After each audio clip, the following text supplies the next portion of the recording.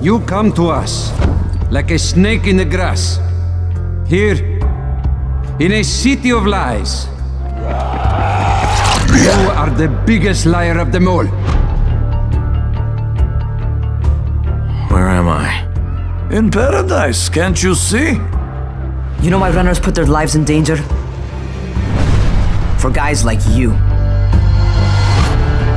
You follow their rules as thoughtlessly as you follow mine. But a man who follows someone else's rules is no man at all. Little kids in there! What the fuck, Crane? I'm no leader. I'm a goddamn parkour instructor. Chaos is the one true order of things.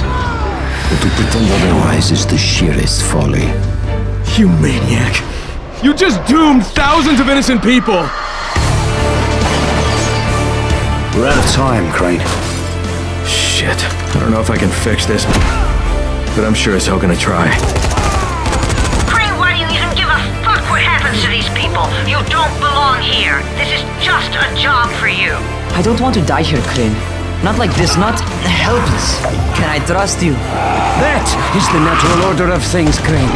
Kill or be killed. Eat or be eaten. You don't know how much this means, dear boy.